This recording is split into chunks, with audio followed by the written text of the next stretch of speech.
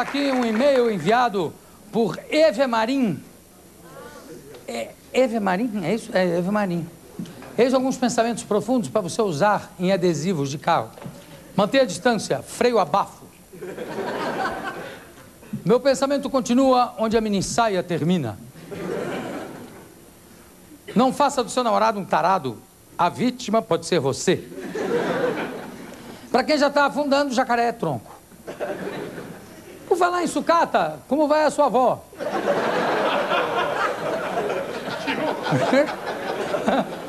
Coisa delicada isso, né?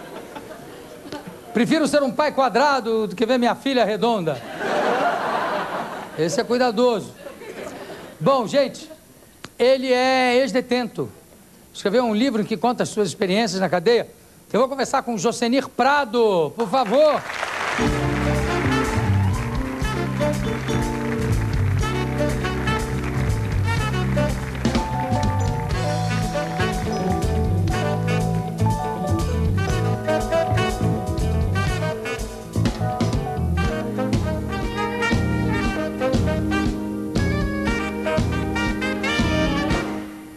Josenir, está aqui, Diário de um Detento, o livro, Josenir, editora Labor Texto Editorial.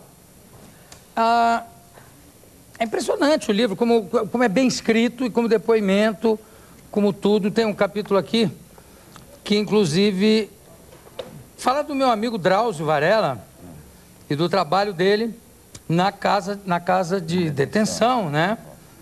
É uma figura, realmente o Drauzio é uma figura impressionante, né? Um cientista, um verdadeiro cientista, porque uh, estuda, mas estuda mesmo. Então é especialista em oncologia, especialista em AIDS, né? Sabe tudo que sai a respeito, conhece tudo. E não é só isso, ele acaba atendendo dentro da detenção, como você diz aqui, acaba atendendo presos com outros problemas, né? outros né? problemas. É, e é o que eu sempre disse, é um homem que podia hoje estar ocupado em seu consultório, dentro de altas rodas, e no fim de uma, uma humildade Olha, fora de série. É uma figura comovente. Uma pessoa humana. E vai para o consultório, trabalha no consultório. Ah, quando ele está no consultório, ele fica de manhã até a noite, né? É. Quer dizer, é impressionante o, o, a, a, determinação dele e o espírito de. a generosidade que ele tem. É, e, e, ele não abandona a ideia de fazer o tratamento dos presos, né? Que até mesmo agora com a desativação da casa de detenção, ele já está procurando outros presídios para continuar dar é, assistência e o trabalho dele. É. Não para, está fazendo um trabalho, trabalho fantástico. Eu falei, você já trabalha tanto, o que, que você vai fazer no Fantástico? Eu disse, não, acho importante porque eu viajo pelo Brasil, eu vejo o nível de informação é tão grande. É em termos de medicina, de como cuidar, que eu tenho que fazer isso. Agora vem cá. Primeira coisa, Jusenir, por que, é que você foi preso? Eu fui preso por receptação de carga roubada. Numa uma atrapalhada policial, eu acabei sendo um bode expiatório. Quer dizer, é uma situação que se hoje, qualquer coisa que se diga em, em querer se dizer inocente, perde-se no ar diante de tantas coisas que a gente vê aí, todo mundo se diz inocente, né? Não, e a gente sabe, quer dizer, eu pelo menos já fui fazer visita é. em penitenciária e não tem ninguém lá dentro é. que seja culpado. Né? Culpado, né? é. Só, todo mundo... Hoje só no estado de São Paulo são 110 mil presos inocentes. Inocentes. Mas a verdade é que eu fui, na época, minha esposa, ela estava grávida de oito meses. Sua esposa? Está aqui, da primeira filha aqui, meu filho do lado também. Olha só. Então, eu, eu, a minha esposa estava grávida de oito meses e eu fui pedir a um irmão que me cedesse um carro que tivesse um conforto maior para mim fazer uma viagem de quatro horas com ela para levar ela para o interior para ela ficar do lado dos, da, da, mãe e das irmãs para ter um atendimento mais adequado. Só que na época o meu irmão estava envolvido demais com esse problema de carga roubada.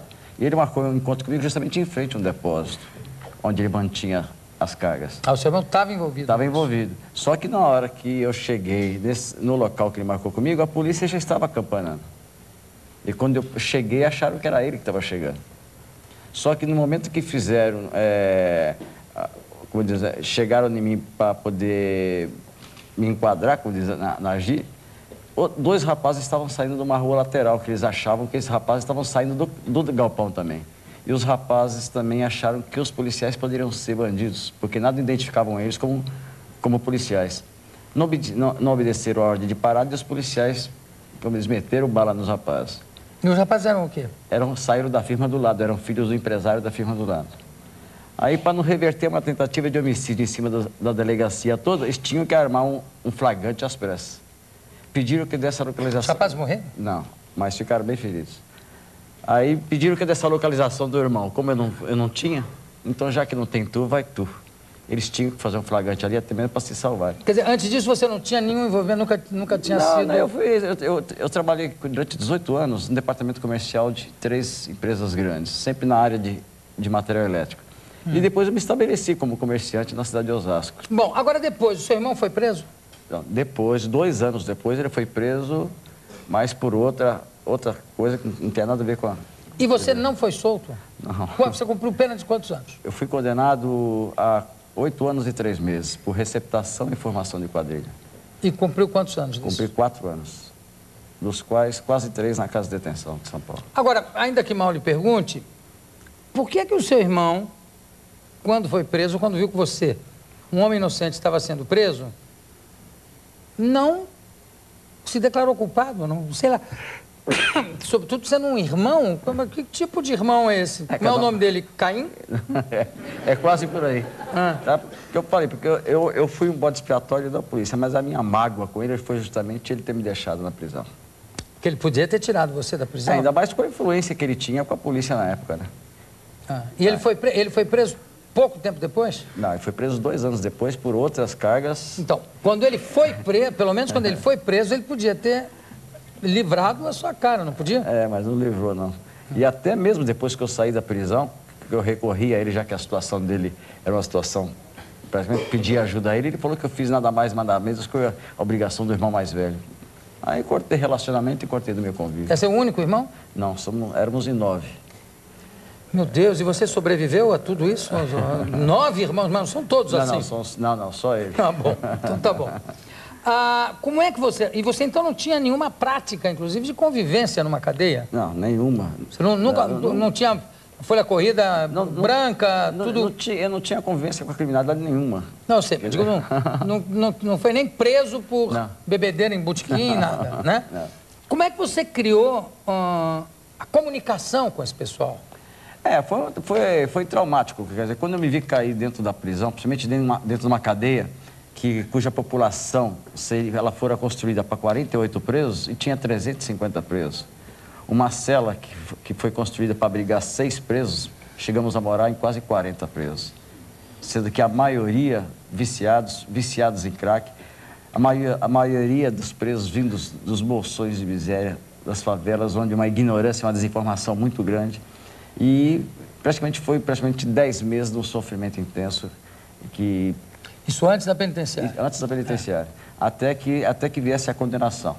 Então foi uma, uma situação de muito sofrimento e muito traumática. Você, viu algum, você viu algum preso morrer do seu lado? Nessa ah, vi várias coisas. Muitas, são, é, é um mundo totalmente diferente, uma cultura totalmente diferente, é, com código de comportamento próprio, código moral próprio, sabe? E tudo aquilo que contrastava com tudo aquilo que eu havia aprendido em termos de comportamento, dignidade, moral, nada. Tudo aquilo lá tem que se deixar da parte de fora. Mas, porque... mas dentro da penitenciária, por exemplo, tem uma, existe uma certa ética, às vezes até excessivamente moralista, não existe? É, é séria, até mais eficaz do que aqui fora, o código, é. o código moral e o código de honra do preso. Só que dentro dos padrões de moral dele. É, claro. Tá? Claro. Então, uma palavra errada pode te levar ao mais alto prestígio com a malandragem, como pode decretar sua morte. Mata-se por nada. É, e a vida, vida não, tem valor não nenhum. tem valor nenhum. E você como é que fez para ter esse contato mais amigável com os presos? Que tipo de, de favores, de serviços é, você eu, prestava? Eu, eu, eu caí, eu comecei a sofrer uma série de discriminação. Até mesmo porque eu tinha um pouco mais de cultura do que a grande maioria. Claro. E tinha um poder aquisitivo maior do que a grande maioria. Então eu caí como uma galinha dos ovos de ouro, principalmente para aqueles que eram usuários de drogas. Que todos queriam ver em mim um motivo, uma palavra para poder tentar uma extorsão para que com isso conseguisse recursos para adquirir drogas. Então, isso aí eu sofri uma série de agressões, agressões físicas mesmo, agressões morais. Então, praticamente que fazia com que cada vez que eu fosse dormir, eu rezava para não acordar. Só imaginar que o dia seguinte seria a mesma coisa. Então eu vi que eu tinha que tomar. E quando veio a minha condenação de oito anos e três meses, eu me bateu o desespero. Então eu sabia que eu tinha que tomar alguma atitude. E eu tinha três alternativas. Ou eu praticaria o suicídio, que é uma coisa normal dentro da prisão e pouca divulgada, ou deixava me levar pelo mundo das drogas, ou procurava de alguma forma conquistar a massa carcerária. E eu vi que a, a, a, o ponto fraco da, da massa carcerária era justamente a falta de escolaridade, a falta de cultura. Se você me perguntar, tem pessoas cultas dentro da prisão? Tem algumas. Só que eu procurei usar a que eu tinha em benefício da população. Quando eu percebi que eles tinham uma grande dificuldade em escrever cartas e receber e ler as cartas que vinham, já que a maioria, é, se não são analfabetos, são semi-analfabetos. Então você virou o é, e até, comunicador, né? o carteiro. O carteiro. E comecei, na confiança, eles passarem os problemas mais pessoais para que eu escrevesse as cartas. E com a chegada das datas festivas, dia dos namorados, dia das mães, eu comecei a introduzir alguns versinhos, algumas poesias, aqueles arroz com feijão, porque eu sabia que se quem estava enviando não tinha muitos, muita cultura, com certeza quem as iria receber também. Então eu fazia aqueles versos simples. Isso começou a me trazer prestígio, por quê? Porque às vezes a namorada que brigava e tinha ido embora, com retorno em razão de um verso, eu virava herói. Olha só. Isso aí começou a me trazer prestígio e proteção. Isso já antes da casa de detenção? Antes da casa de detenção. Hum. Então, com a série de transferências de presos para a casa de detenção, quando eu fui transferido para a casa de detenção após uma rebelião muito traumática, muito, muito ruim, é, eu já era conhecido da casa de detenção. Então, assim já que eu foi cheguei, bem recebido. quando eu cheguei, já correu a notícia que o tiozinho que escrevia as cartas... Como era, como era o nome? Tiozinho, né? Tiozinho? Tiozinho. O tiozinho que escrevia as cartas em Baruri tinha chegado. Tiozinho? É, porque a maioria eram adolescentes, né? Porque a grande massa carcerária hoje vai dos 18 aos 25, 26, 27 anos.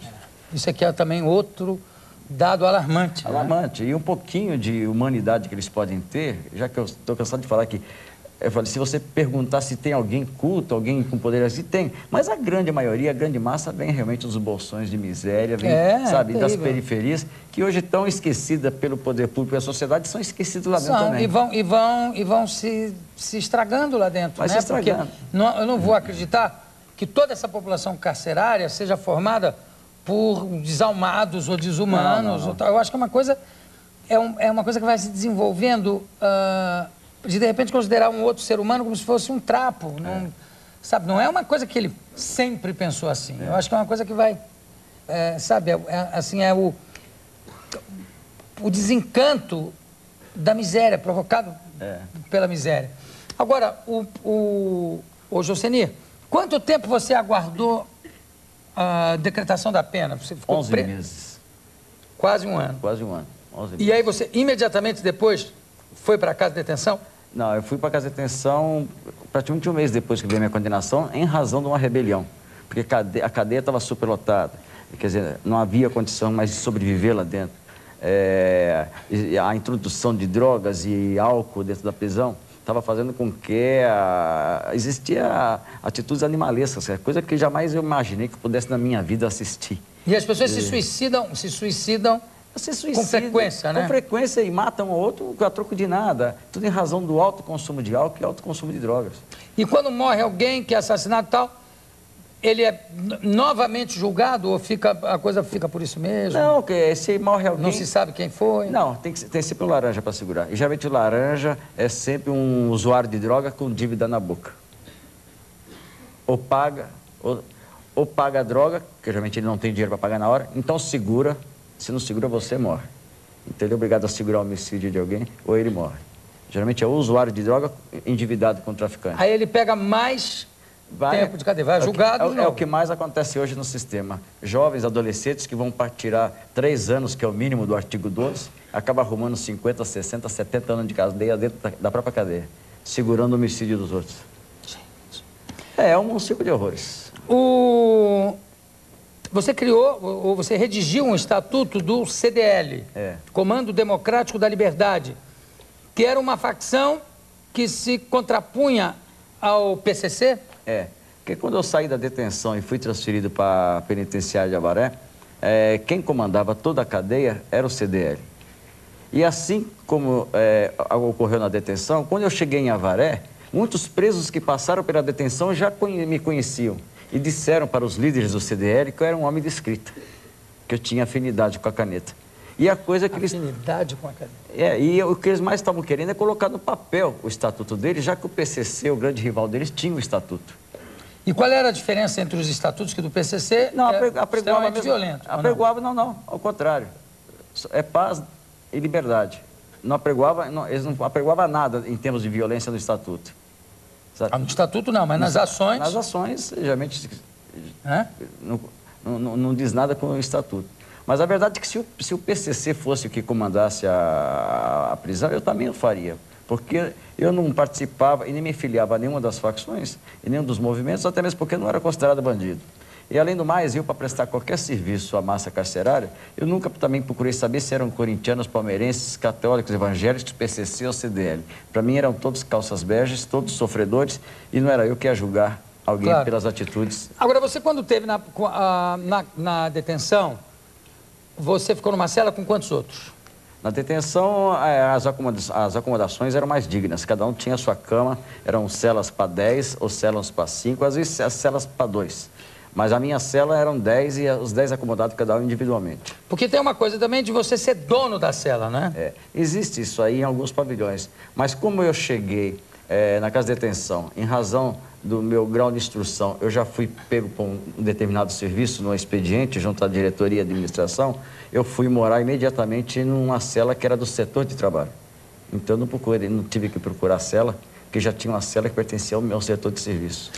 A abordagem, do, a, a abordagem sexual, do assédio sexual, da violência sexual, é uma coisa indiscriminada não, hoje, pelo menos nos presídios onde eu pude passar, não existe mais isso. Até mesmo porque a pederastia é discriminada hoje de tudo com a, com a forma pela malandragem, né?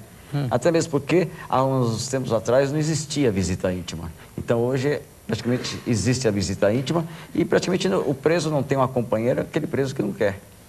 Sim. Tá? Até mesmo porque existe uma frequência de mulheres muito grande no presídio. É verdade. Tá? Então, elas arrumam parceiro com facilidade e eles arrumam parceiro com facilidade. Então, hoje passou-se a discriminar qualquer tipo de, de pederastia e homossexualismo. Cada um tem o seu canto para conviver e não vive no meio da malandragem. Ah, você hoje faz o que, Josenia? Eu vivo vendendo meus livros. Quer dizer, é, até se eu não fosse um ex-presidiário, até para mim colocar no mercado de trabalho hoje seria difícil com 50 anos de idade. Hum. Então, eu, o, o, ano passado, quando eu praticamente lancei o livro e saí nas manchetes de jornais, eu praticamente fechei as portas do mercado de trabalho para mim. Existe realmente uma discriminação. Então, de toda sorte, eu tentei me virar para poder trazer o sustento para a família. Você, tem, você é compositor de uma música também com... É, na Casa de Detenção, né, nesse, nessa rotina que eu fazia versos e cartas, eu escrevi alguns versos e em cima desses versos criou-se o Diário de um Detento, gravado pelos Racionais MCs. Tá? Ele fez umas, algumas adaptações e gravou, uhum. que fez o rap hoje, que tem mais sucesso em termos, é termos nacionais, né?